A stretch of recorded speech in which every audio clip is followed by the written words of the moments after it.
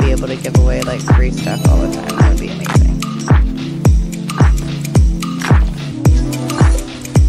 Oh shit, I'm gonna die. It happens so much.